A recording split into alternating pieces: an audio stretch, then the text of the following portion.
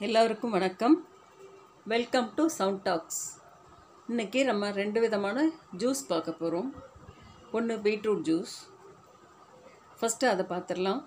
ஒரு பீட்ரூட்டை துண்டு துண்டாக எடுத்து கட் பண்ணி வச்சுருக்கேன். அதை மிக்ஸி ஜாரில் சேர்த்துடலாம்.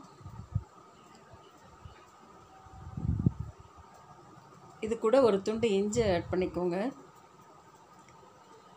ஒரு பிஞ்ச் ஆஃப் சால்ட்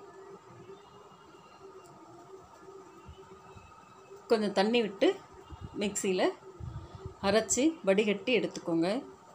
நான் இப்போது அரை கப் தேங்காய் பால் எடுத்து வச்சுருக்கேன். அதை இது கூட நம்ம ஆட் பண்ண போகிறோம்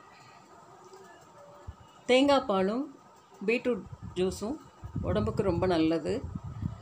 தனியாக பீட்ரூட் ஜூஸ் குடிக்க முடியாதுன்றவங்க தேங்காய் பாலும் சேர்த்து குடித்தா ரொம்பவே நல்லாயிருக்கும் தேங்காய் பால் சேர்த்ததும் அதில் ஒரு ஸ்பூன் ஹனியும் சேர்த்துருக்கேன்.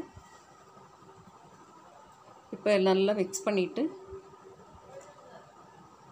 குடிச்சிங்கன்னா ஜூஸ் அருமையாக இருக்கும். ட்ரை பண்ணி பாருங்கள்